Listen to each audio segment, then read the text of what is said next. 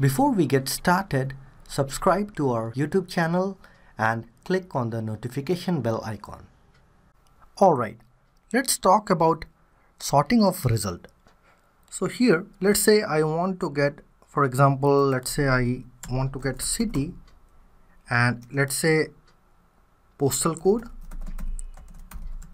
and if I just execute this now you see I'm getting city and postal code but you see here these two columns are not sorted. What I mean is let's say I want to sort city that is this particular column in descending order or ascending order.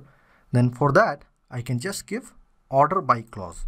So if I just give order by city and if I don't give here DESC or ASC that means by default it will be in ascending order.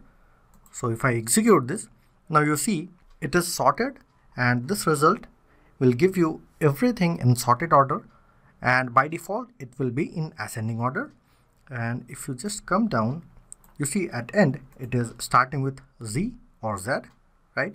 Similarly if I just say let's say DESC that is for descending order that is for descending order then if I execute it now you see now it is in decreasing order right in the same way I can just say order by let's say postal code in descending order.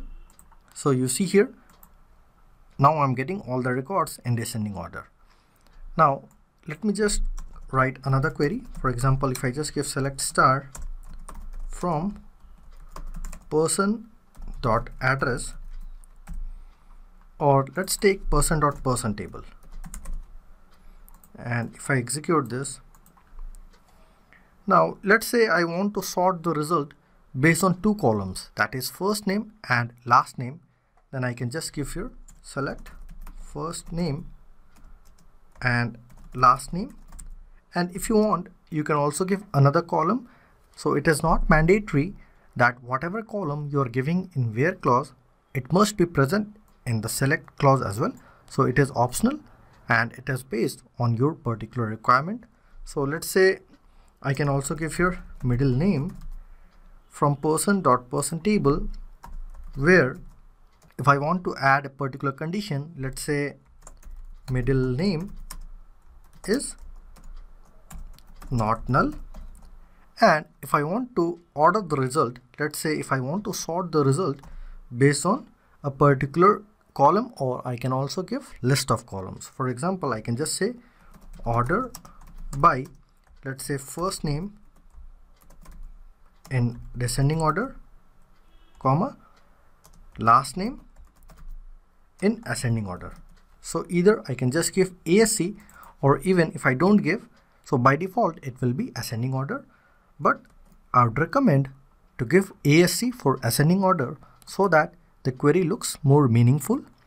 And if I just execute this, you see here, we are getting first name, last name and middle name, which is sorted by first name in descending order. So here you see we are getting Zo, Zo and then here we are getting Bailey and bell.